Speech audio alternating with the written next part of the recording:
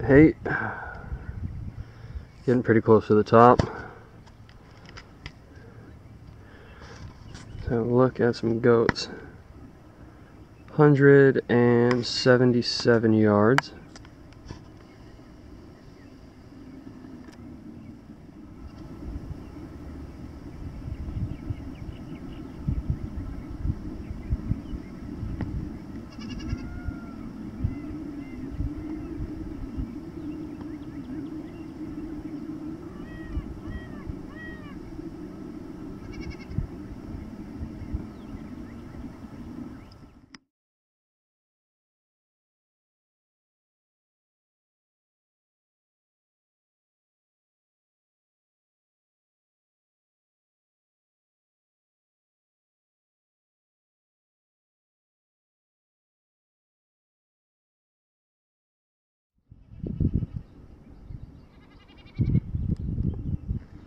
All right, you can see that guy there. That's about uh, 361 yards. I'm assuming he's gonna stay right in that area, and I'm gonna go after him. I'm not gonna have the camera on the whole time because that's a lot of ground to cover. In all honesty, it doesn't look like there's much of a setup for uh, me to set up the camera to get the shot on film, so I'll probably just end up letting you know how it goes afterwards. I'm gonna zoom out a little bit. So my game plan is to come down this ridge right here and uh, you know have a look at him from the top there. If he's still in that area, I will creep down, kind of. I don't know if you can tell where I'm fixing to go, but right down that um, and keep the little piece of ridge and rock jetting between me and him until I can get right in that area and then see if I can't work out a shot somehow. The other option is to dip over the backside of that ridge and uh, try and come around on him because his, you know, his. I'm looking through the binoculars. I can see him quite a bit clearer, but it seems like his uh, his focus is definitely some females down about 300 yards lower than he is. So we shall see. All right, here I am, uh, down here ways. Um, let me scan up here, right by that tree. I'm zooming in on now.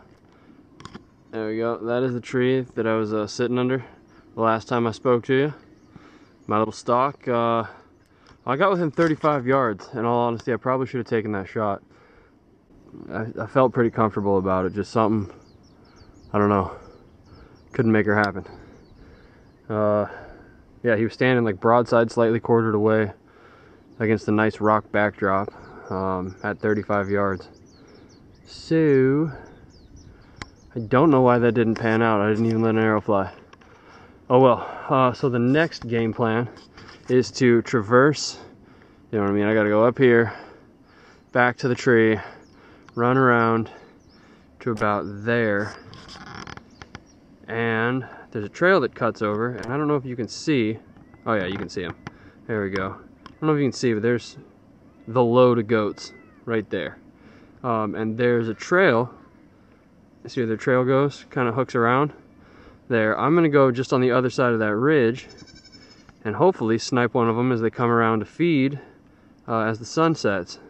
Looks like they're heading that way already. I better get a move on. Hey, just while I'm up here, see oh, that white building? Not the one with the pool, but the one down by the road. That is where my car's parked. So it's now about 4.15. Uh, got a bit of hiking to do. Good thing under the trail well, huh? Shoots. All right, I'm just gonna poke my head over this little rock face here. Show you where they're at. There they are.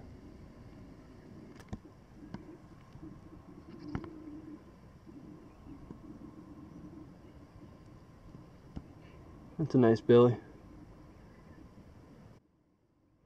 Couple of kids playing around. several more uh, making moves up the mountain. So don't have much time to talk. Just figured I'd check in with them, see where they're at. Oh, gotta get over to that ridge.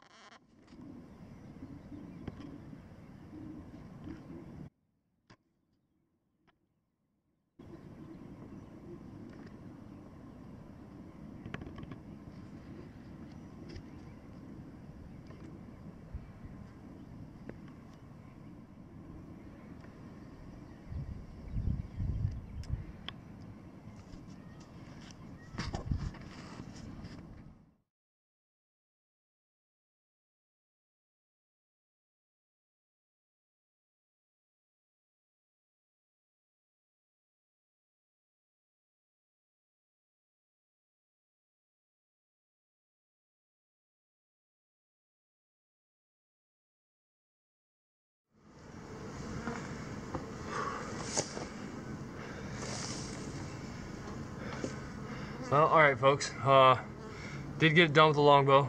Obviously not a monster, but meat in the freezer. So, mission accomplished.